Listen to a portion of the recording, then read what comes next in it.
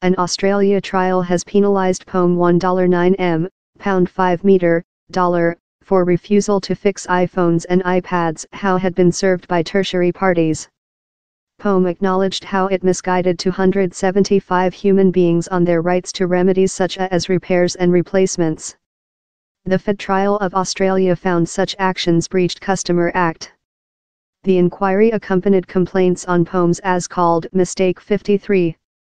The error rendered iPhones and iPads unusable, following users downloadable a software program upgrade.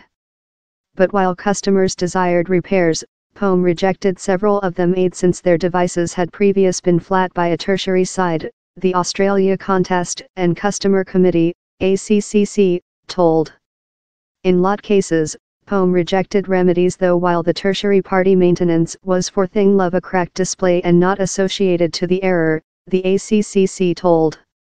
This trial proclaimed the simple reality how an iPhone or iPad had been restored by who some rather than Pome did know, and could know, outcome in the customer guarantees stopping to use, Commissar Sarah Trial told on Tuesday.